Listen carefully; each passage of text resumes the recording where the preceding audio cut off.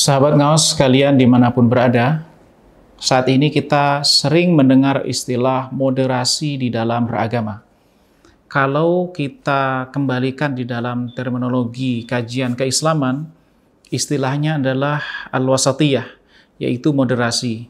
Apa sebenarnya moderasi dan bagaimana sikap kita terhadap moderasi dalam kehidupan beragama? Ada satu firman Allah Subhanahu wa taala yang bisa menjadi acuan bagi kita ketika kita membahas tentang moderasi di dalam beragama yaitu firman Allah Subhanahu wa taala wa kadzalika ja'alnakum ummatan wasata dan demikian kami jadikan kalian sebagai umat wasata, umat pertengahan. Sahabat ngaus kalian yang mulakan Allah Subhanahu wa taala, agama Islam ini hadir untuk menjaga keseimbangan. Jadi kalau kita perhatikan kepada ketentuan hukum-hukum yang ada di dalam Islam, baik itu perintah misalnya dimulai dari sholat, dimulai dari uh, puasa, kemudian zakat, dan ibadah haji, dan ibadah-ibadah yang lainnya termasuk misalnya pernikahan, kemudian dalam transaksi-transaksi keuangan dan semuanya, kita akan ketemu pada satu titik di mana Islam ini senantiasa menjaga keseimbangan. Islam hadir untuk menegakkan keadilan dan kebijaksanaan. Inilah yang sebenarnya kalau kemudian kita sederhanakan dalam istilah moderasi dalam beragama. Sahabat ngaus sekalian yang mulakan Allah Subhanahu wa taala, beragama secara moderat atau memegang uh, prinsip wasatiyah di dalam beragama adalah ketika kita menjalankan agama ini, kita tetap menjaga prinsip keseimbangan. Sebagai contoh, Ibadah puasa ini kalau kita perhatikan adalah salah satu contoh uh, sikap pelajaran uh, moderasi di dalam beribadah. Bagaimana bisa? Allah Subhanahu wa taala memerintahkan kepada kita untuk berpuasa dari pagi yaitu dari semenjaknya terbitnya fajar sampai tenggelamnya matahari. Allah Subhanahu wa taala tidak memerintahkan kepada kita untuk berpuasa sepanjang hari misalnya. Kita tidak diperintahkan oleh Allah SWT untuk berpuasa sehari semalam maksudnya. Yaitu Allah SWT tidak memerintahkan kita untuk berpuasa eh, misalnya satu bulan penuh dalam pengertian siang dan malam berpuasa. Tapi kalau kita perhatikan, ternyata pola desain puasa yang Allah Subhanahu wa taala tetapkan itu adalah puasa dengan pola-pola moderasi. Maksudnya seseorang itu menahan diri dari semenjak terbitnya fajar sampai tenggelamnya matahari dari makan dan minum serta hal-hal yang membatalkan ibadah puasa.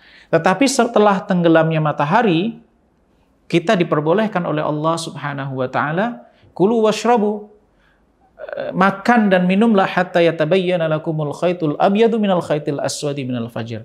Jadi makan dan minumlah sampai jelas kepada kalian perbedaan benang putih dengan benang hitam yang maksudnya adalah perbedaan siang dan malam, yang maksud detailnya adalah terbitnya fajar.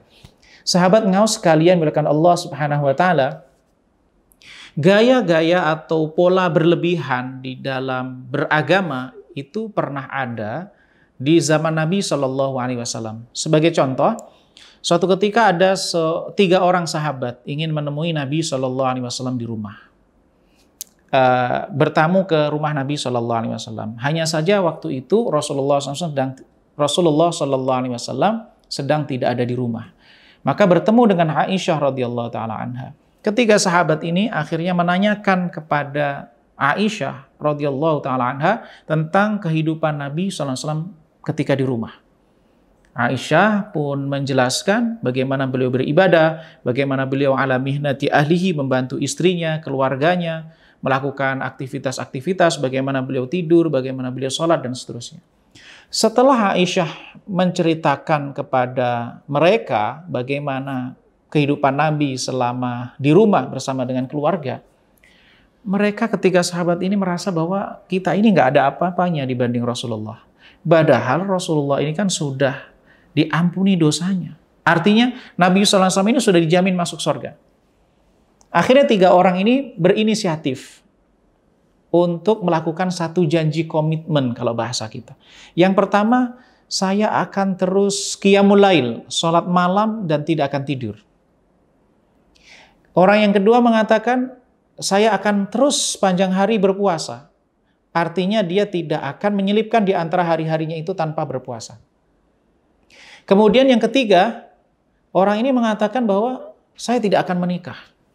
Jadi di dalam persepsi dia ini menikah itu menjadi penghalang bagi dia untuk taat kepada Allah Subhanahu wa taala. Begitu setelah itu orang ini pergi meninggalkan Aisyah dan tidak berapa lama kemudian Rasulullah SAW pun datang. Nah, ketika Rasulullah SAW datang, Aisyah radhiyallahu taala anha bercerita kepada beliau tentang tiga orang tadi dan apa yang mereka katakan. Seketika itu Nabi SAW memanggil ketiganya dan beliau mengatakan, sesungguhnya aku ini aksyakum lillah, lebih takut daripada kalian kepada Allah Subhanahu wa taala. Artinya, saya ini paling takut. Takut saya kepada Allah ini jauh di atas kalian. Tetapi saya uh, sholat malam dan saya juga tidur. Di saat sama saya juga berpuasa dan kadang saya tidak berpuasa. Artinya asum wa uftir, saya berpuasa dan tidak juga berpuasa. Di yang ketiga adalah wa atazawwajun nisa dan saya juga menikah. Inilah yang kemudian kalau kita kembalikan tentang prinsip moderasi eh, beragama secara moderat adalah beragama dengan cara bagaimana Rasulullah SAW meletakkan segala sesuatu itu pada porsinya. Bahwa segala tuntunan yang Rasulullah SAW dituntunkan, mulai dari berkeluarga, menikah, bekerja, memperhatikan hak-hak orang lain, itu adalah sikap moderat.